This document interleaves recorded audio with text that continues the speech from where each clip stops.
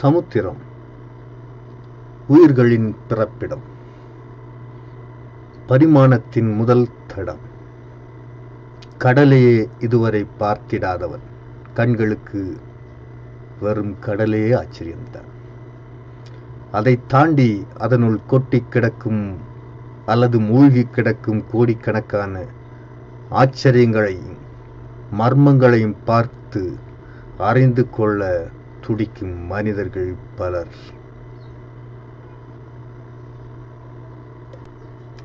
அவர்களின் ஆராய்ச்சிகள் முடிவடையாத ஒரு எல்லைக்கு உட்படாத நீண்ட ஒரு பயணமாகவே இருந்து வருகிறது. தோண்ட தோண்ட முடிவடையாத பல மர்மங்கள் அதனுள் புதைந்து கிடக்கிறது. நான் அறிந்ததை மற்றும் நான் படித்ததை சிலவற்றை உங்களோடு பகிர்கிறேன். முதலில் மனிதர்கள் உருவானதே கடல் அடியில்தான் என்று ஆராய்ச்சிகள் சொல்லுகின்றன. அதன் பின் அதிலிருந்து நாம் தவழ்ந்து பூமியை நோக்கி வந்தோம். உண்மையில் கடல்தான் நம் எல்லோருக்கும் தாய். அதன் மடியில்தான் உயிரினங்கள் உருவாயின. நம்மை உருவாக்கிய அந்த கடலை குறித்து நாம் எவ்வளவு அறிந்து வைத்திருக்கிறோம் என்பது ஒரு வினாவாகவே உள்ளது. ஆராய்ந்து முடியாத அதிசயங்களையும் நாம் கண்டு உணராத பிரமிப்புகளையும் கொண்டுள்ள இந்த கடலை குறித்து நாம் சிறிதாக ஆராய்ச்சி செய்கிறோம். இந்த பதிவினாலே. நம் கடலரசனை போல பெரிய பணக்காரன் இந்த உலகில் யாரும் இல்லை ஆம் கடல் கரைந்திருக்கும் தங்கத்தின் எடை மட்டும் இரண்டு கோடி கண் டன்களாம். இவ்வளவு செல்வந்தனாகிய கடல் மிகவும் ஆபத்தானவன். அவன் அரசன். அவன் ஆளுகைக்குட்பட்டே நிலத்தின் பூமிகள் இன்றும் இருந்து வருகின்றன.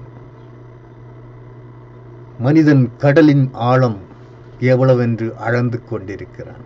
ஆனால் அளந்து முடிக்க இன்னும் அவனுக்கு வயது போதவில்லை என்று சொல்ல வேண்டும். எவ்வளவு ஆழம் வரைதான் அவன் ஆழம் பார்த்திருப்பான். அவன் அளந்ததுதான் அதிகபட்ச ஆழமா?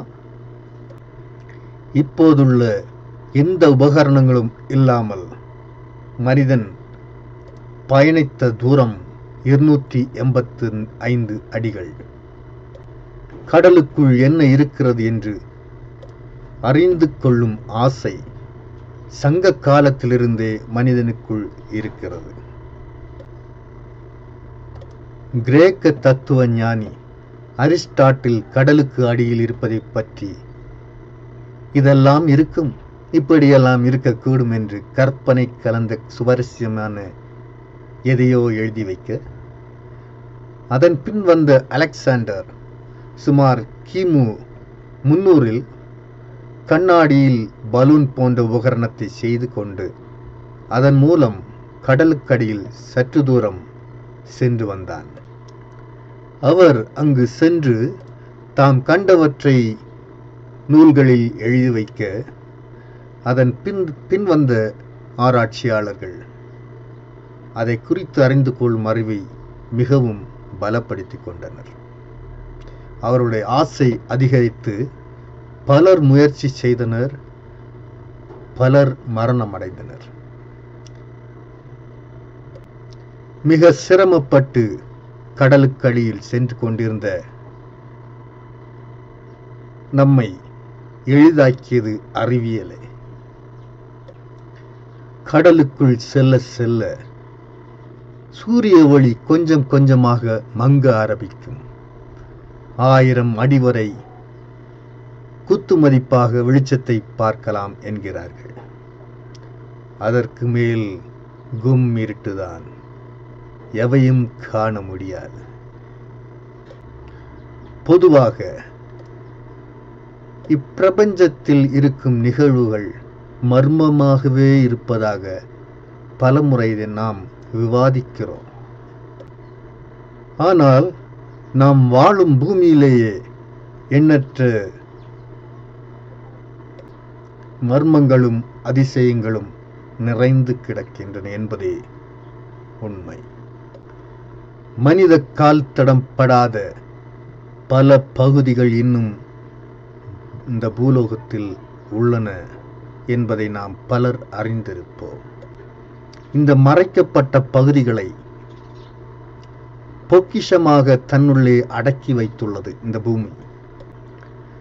மனிதன் சென்று ஆராய்ச்சி செய்ய முடியாத பல இடங்கள் இந்த பிரபஞ்சத்தில் உள்ளன என்பது நாம் எல்லோருக்கும் அறிந்ததே. அதுபோல் கடலுக்கடியில் உள்ள மர்மங்களை கட்டவிழுக்க துடிக்கும் மனிதர்கள் பலர். அப்படி நாம் அறிந்திருக்கும் ஒரு மர்மம் பர்மோடா ட்ரையாங்கிள் அதாவது பர்மோடா முக்கோணம் என்று நாம் அழைக்கிறோம். பர் பர்மோடா முக்கோணம் போன்ற பல அதிசயங்கள் மர்மங்கள் இந்த கடலுக்கடியில் இன்னும் பல புதைந்து கிடக்கின்ற என்பதே உண்மை. அந்த மர்மங்களை பற்றி தான் நாம் இந்த பதிவிலே பார்த்து கொண்டிருக்கிறோம். முதலாவதாக நாம் அறிந்து கொள்ள கொள்ளப் போவது அட்லாண்டிஸ் என்கிற ஒன்றை பற்றி. அந்த கால கிரேக்க மக்கள் கற்பனையாக உருவாக்கிய கடல் தீவு நகரமாகும்.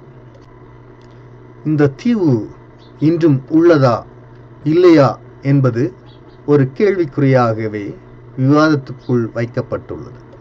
சமீபத்தில் நடந்த ஆராய்ச்சியாளர்கள் மற்றும் ஸ்கூபா டைவர்கள் கூறிய ஒரு கருத்து என்னவென்றால் பசிபிக் சமுத்திரத்திலே ஒரு மஞ்சள் நிற செங்கல் பாதை ஒன்று கண்டுபிடிக்கப்பட்டுள்ளதாக சொல்கிறார்கள். இந்த பாதைதான் அந்த தீவுக்கு செல்லும் பாதையோ என்று சந்தேகப்படுகின்றனர்.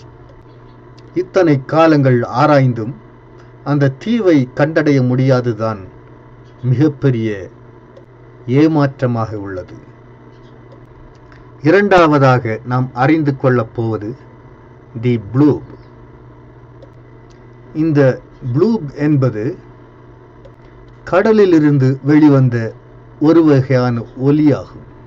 ஹை ஆம்பிளிடியூட் சவுண்ட் என்கிறார்கள். ஆயிரத்தி தொள்ளாயிரத்தி தொண்ணூற்றி ஏழாம் ஆண்டு அமெரிக்காவின் national ocean and atmospheric administration முதலில் இந்த ஒலியை கண்டறிந்தனர். முதலில் இந்த ஒலி ஏதோ ஒரு நீர்வாழ் உயிரினத்திடம் இருந்து வருது வருவதாக கருதப்பட்டது. ஆனால் அதன் பின்னர் இது பர ப- பனிப்பாறைகளின் இடையே ஏற்படும் பிளவுகள். அந்த பிளவுகளில் இருந்து வரக்கூடிய ஒலிதான் இந்த ஒலி என்று விளக்கம் கொடுக்கப்பட்டது. மூன்றாவதாக நாம் அறியப்போவது பயோலுமினசன்ஸ். இது ஒலியை உள்வாங்கிக் கொண்டு அந்த ஒலி இல்லாத போது அந்த ஒலி வெளிவிடுவது இதன் தன்மை. அதாவது ஒலி கேட்காத போது அதை ஒலிக்கச் செய்யும். இதை பிளாங்டன் என்று அழைக்கப்படும் பாசி வகைகள் செய்வதாக அறிஞர்கள் கூறுகிறார்கள். இந்த பாசிகள் கரையை ஒட்டி ஒட்டி வரும் நேரங்களிலே கரைக்கு பக்கத்திலேயே வந்திருக்கும் நேரங்களிலே அந்த கரை முழுவதும் சீரில் லைட் போடப்பட்டது போல வெளிச்சமாக காணப்படும். இந்தியாவிலும் இது போன்ற பீச்சுகள் பல இடங்களில் உள்ளன என்பது குறிப்பிடத்தக்கது. இது மாதிரிப்பட்ட பல அனுபவங்களையும் அறியாத ஆராய்ச்சிகளை பற்றிய தொகுப்புகள் இந்த சேனலிலே நீங்கள் அறிந்து கொள்ள எங்களை சப்ஸ்கிரைப் செய்யுங்க லைக் பண்ணுங்கள் ஷேர் பண்ணுங்கள் நன்றி.